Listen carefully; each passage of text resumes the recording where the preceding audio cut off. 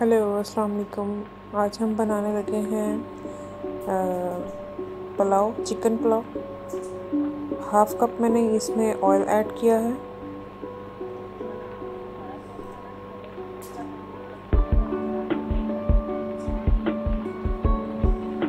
Oil के गर्म होते ही आपने इसमें वन मीडियम अनियन डालना है, प्याज डालें उसको इसमें अच्छी तरह ऑयल में ब्राउन करें। हीट आपने मीडियम रखनी है। Medium to high. प्याज मैंने स्लाइसिस में कट किया है। इसको अच्छी तरह ऑयल के अंदर गर्म करें लाइट ब्राउन करें।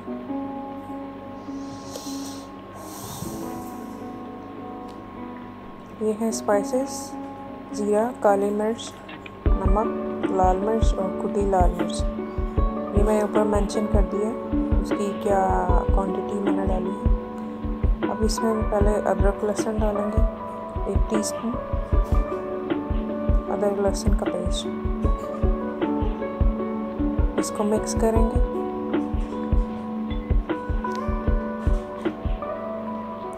मिक्स मिक्स मिक्स प्याज के थोड़ा नरम होते ही इसमें अदरक लहसुन का पेस्ट डाल देंगे। फिर इसमें ज़ीरा, काली मिर्च डालेंगे।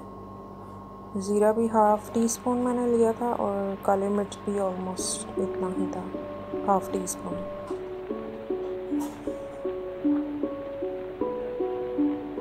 इसको अच्छी तरह मिक्स करें। और में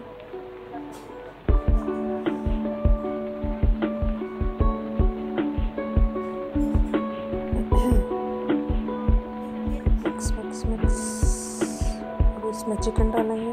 फाइव हंड्रेड ग्राम्स मैंने चिकन लिया था।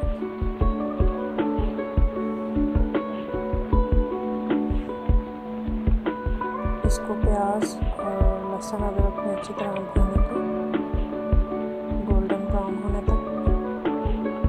ताकि इसका कच्चापन ख़त्म हो जाए।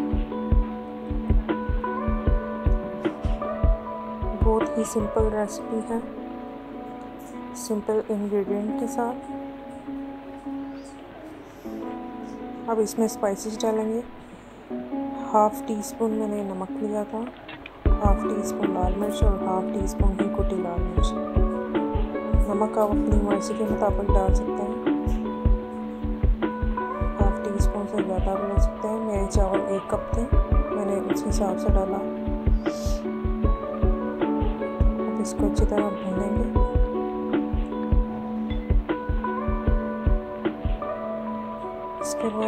इसमें ऐड करेंगे हम टमाटर। पहले इसको अच्छी तरह मिक्स कर लें। कि तमाम स्पाइसेस चिकन को लग जाए।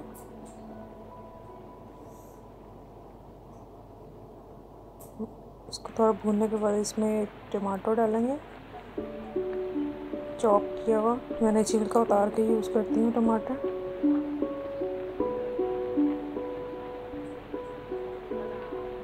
फिर भूनने में इजी हो जाता है मसाला। मसाले को अच्छी तरह मिक्स करें चिकन के साथ। दम पे रखें ताकि मसाला नरम हो जाए और चिकन भी अच्छा हो जाए। इसको अच्छी तरह मसाले के साथ भूनें। इसकी बुनाई करें मिक्स करें।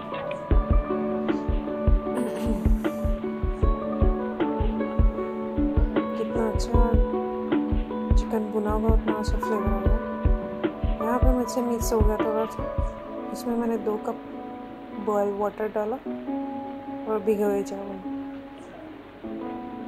भिगे हुए चावल, एक कप इसको बॉयल आने तक पकाएँ। इसको अच्छी तरह मिक्स करें। ड्राई पानी ड्राई होने तक इसको पकाएँ।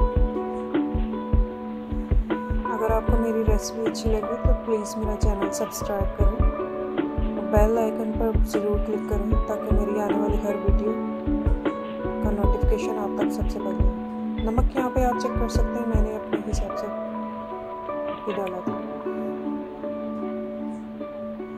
अब इसमें मिर्ची और अदरक डालेंगे।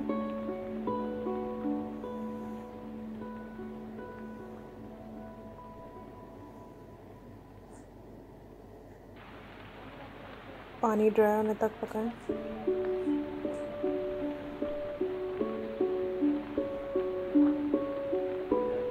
अब इसके ऊपर ढक्कन रख देंगे। मैंने थोड़ा साइड से ऊँचा किया हुआ था, ताकि स्टीम बाहर थोड़ा सा आए। उसका पानी को खुश्क होने पे आ गया इसको हम दम पर रखेंगे। तवा पहले से गर्म करके रखें तो दम के लिए नीचे रख, रखते हैं। इसको मिक्स करें।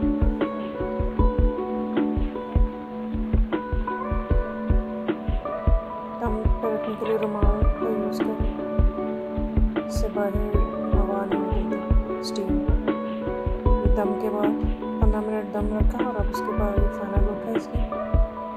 अब इसको सर्व करते हैं।